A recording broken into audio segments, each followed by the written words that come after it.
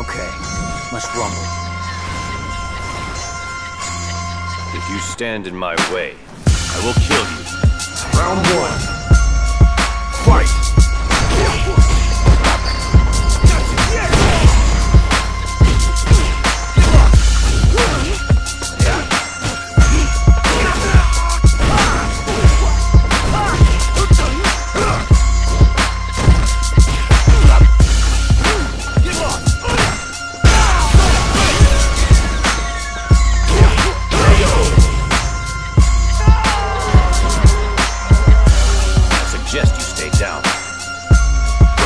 you.